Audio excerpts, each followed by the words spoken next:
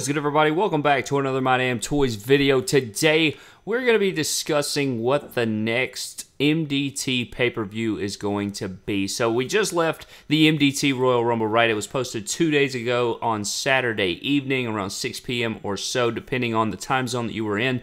And it was real received, and I appreciate you guys so very much for checking it out. If you have not checked it out yet, please go do so. It would mean a lot to me. It would mean a lot to um, everybody here in the MDT family. Face and Brad would also appreciate it as they also played a part in the making of the show. And I would really appreciate it if you guys would check it out if you haven't already. But I appreciate all of the kind comments and everything in between. It's so supporting and it makes me drive harder and motivated to, you know, grind harder on the pic fed and put on awesome shows and produce them the way that we do here. And I just appreciate it so much for all the well received feedback. But today's video, I did want to discuss. We're just going to be talking straight up here with some images over my voice. But what I wanted to talk about is what the next MDT pay per view was because somebody brought it to my attention. They were like, Trey, what the crap? You usually always talk about the next pay per view at your pay per view. So it like sold out. We talked about Royal Rumble, I think, at uh, what was it, Money in the Bank? We talked about sold out, and then you know at Blackout we talked about Money in the Bank. So I mean,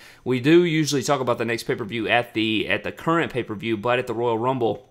We did not. I think it's because we didn't have as, as many commercial breaks. You know, we usually have five or six or even seven sometimes, I think, commercial breaks in between each match. But there were only five matches on the card. So therefore, I think there was only four commercial breaks or so and so I wanted to talk about the next pay per view and what it's going to be, guys.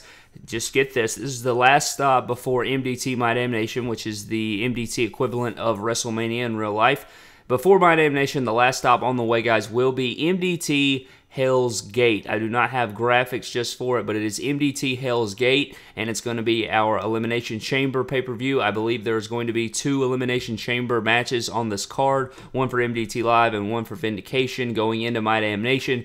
And you guys will have to see, I guess, how the storylines progress, what matches we get booked for these cards. But uh, we do have six episodes to get through. We have three Vindications and three MDT Lives, just like we always do. You know, that's how it works. That's the formula we've done since day one. You go Vindication, MDT Live, Vindication, MDT Live, Vindication, MDT Live, and then it's time for another pay per view, which will be Hell's Gate next. And I'm very excited to do it. You know, I tried to, um, when I laid out the, the pay per view calendar at the very beginning, literally, I think almost two years ago, I wanted to make it where you know it was it was uh, not as long to get to WrestleMania, so it's you know we've uh, in the last two years we've done four shows, which is kind of ridiculous. But you got to think about the the 20 or 24 episodes that we've done of the regular weekly television shows, Vindication and MDT Live. So we've done quite a many of shows. I know it seems like you know, we haven't done that many shows, but it's because of all the work that goes into building up for those shows, and it also goes into all the editing and the producing and the posing and filming that it actually goes into it. And you know, the the more in depth we get, the more that we progress, and the more it improves and everything. We're going to have to, you know, in you know, pay more attention to detail. We're going to have to pose harder, get better every single time, produce better, pay more attention to the details, the cinematography, all of that good stuff. And uh, you know the the shows may take even longer. So another idea that I had was that maybe turning the weekly episodes of Vindication and MDT Live instead of taking it and doing, you know, episode 13 and then two, three weeks later, episode 13 of MDT Live coming out, and then again, two, three weeks later, Vindication comes out, and so on and so forth until we get to the next pay per view, which ends up being about four to six months in between pay per views, which is way too long. I mean, it's it's ridiculous, and I apologize, but I literally go as fast as I possibly can for you guys. Um, instead of doing that, maybe taking a month and doing episode 13 of both shows, episode 14 of both shows, and episode 15 of both shows,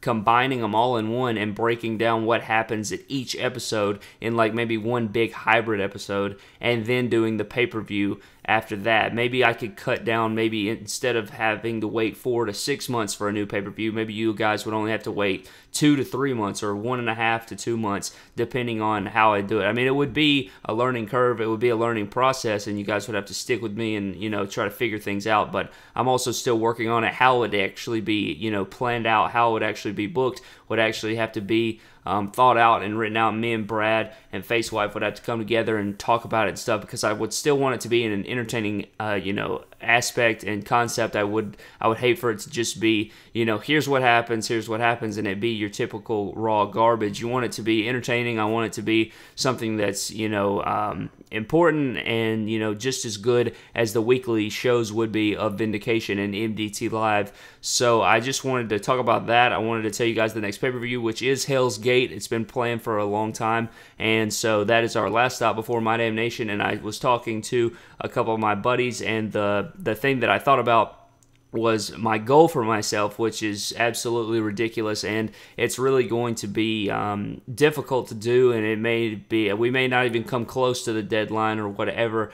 But my goal would be is to try to get My Damn Nation up before 2020, and if that were the case, then we may have to switch to the uh, the you know the hybrid episodes of Vindication and MDT Live. I don't know, guys. I just want to know your thoughts. What do you think we should do about that? Do you guys enjoy the weekly episodes? You know, two weeks, two and a half weeks, a new Vindication slash MDT Live drops until we get to the next pay per view. You know, I know it really builds the feuds. You really get the storyline progression. You really get to buy in and figure out you know what's going on leading into the pay per view. But the weekly episodes, I think, end up getting anywhere from 12 to 20,000 views, and then the pay per views end up getting way more. So the people, I believe, are really targeted towards the pay per views. And, you know, we could put on better matches, we could put on better quality shows. But I do love progressing the storylines because the whole reason that I started the Pic Fed was to was to progress storylines because I would watch others and I would be like, well, I understand that this guy attacked this guy at the last pay per view, but like, why are they feuding? I want an in depth storyline like we get on WWE television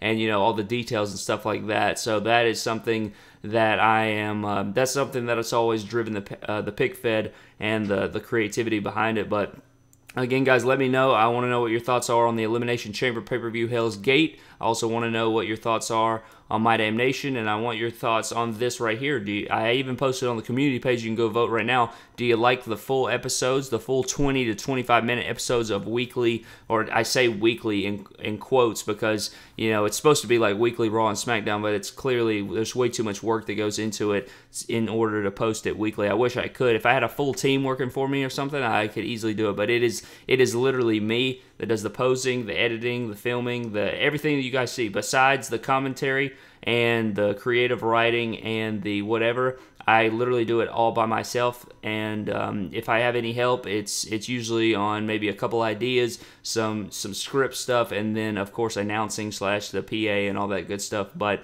let me know down in the comment section below. Also go to the community tab and vote if you want uh, if that's something you're interested in. The big you know highlights slash hybrid episodes of Vindication slash MDT Live and or you want to see the full 20 25 minute shows like Raw and SmackDown. Please let me know, guys. I would really appreciate it. That pretty much ends it for today's talk. I know it's not nothing too interesting. I mean, you get some good information on what I'm thinking and you get to vote on it. But as far as content, as far as, you know, figures and customs and stuff of that nature, uh, not not going to be in today's video, but I hope you guys enjoyed it anyway. I would love to know your thoughts. Love you guys so much. I hope you guys enjoyed the video, and I think I'm going to work on some customs today, possibly, and have that up tomorrow for you guys or what, whatever. I'm still wait. I mean, guys, it's been like forever. Like ringside, I've been waiting on ringside to get in Elite Series 68 forever now. It seems like I feel like Top Talents 2019 is going to come out before Elite Series 68. What do you guys think? Also, really hyped for Elite Series 69. That set's beautiful. We need to do a video on that. I mean, my God, it's probably the best Elite set ever made.